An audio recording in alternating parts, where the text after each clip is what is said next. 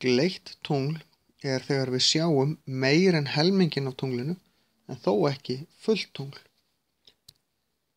Gleitt tungl myndast þegar að tunglið, ef að þetta er tunglið, neða jörðin segja og þetta er sólinn, þegar tunglið er svona hér eitthvað staðar og allarleið hingað eða hér og allarleið hingað.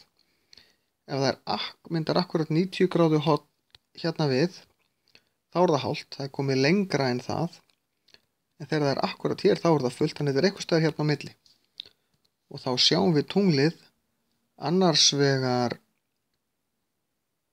svona einhvern veginn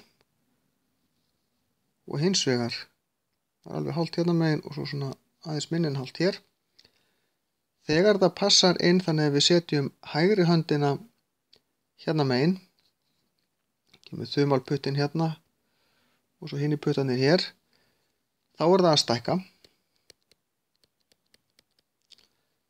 En ef það passar inn í vinstri höndina á sama hátt þá er það